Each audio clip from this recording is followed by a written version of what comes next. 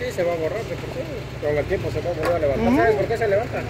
Porque tiene polvo, güey. Sí, no, no limpiaron. Y no, no están bien las rayas bien recortadas.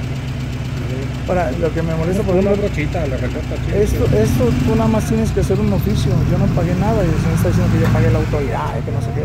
Anda, dile que sí. Eso, pero así se hacen los chismes, Francisco. Pero ya lo hace entender al señor. Pero si no sacamos hasta el piso. Ah, y un- Sí, güey. Ya se está manchoneando más. Dale más estopa, dale más.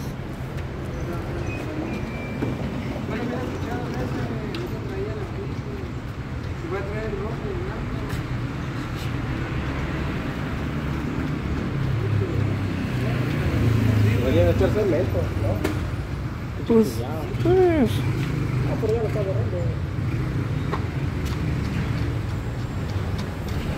Es que la regaron.